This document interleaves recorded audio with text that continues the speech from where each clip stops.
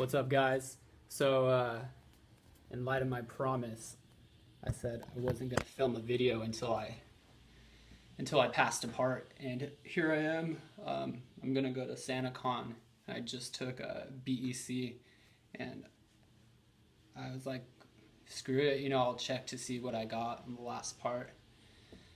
And uh, I don't know how many times I've looked at that screen and seen nothing on there, and it's been super discouraging.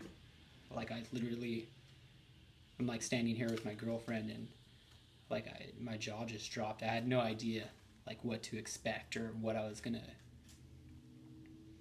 how I was gonna feel when you when you see that score there, especially after I feel like I've been beaten down so many times. Um, and I know I look ridiculous. I'm in like a, a Santa costume. Uh, but I mean, I've been at a point too with the CPA exam where I've kind of given myself like a time limit. I told myself like if I if I didn't pass by a certain date, like I'm calling it quits. And um, I know it's a 75% on reg, and I do tax prep for a living, so it's like you should probably be able to pass reg. It's just kind of crazy for me to see that score, and it's been a stupid costume.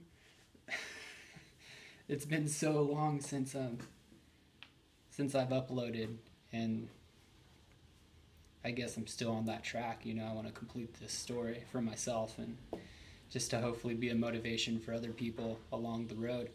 So, um, you know, I think it that was my fifth try on reg to get a 75, and I got like a 68, a 74, a 68 again, a 72, a 75. So, if you're out there still working on the exam, just keep on cranking on it.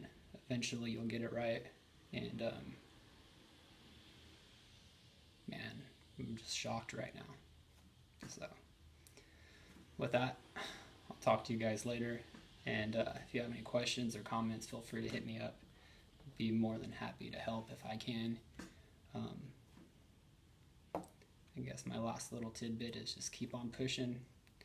Eventually, you'll get it. and uh, happy holidays.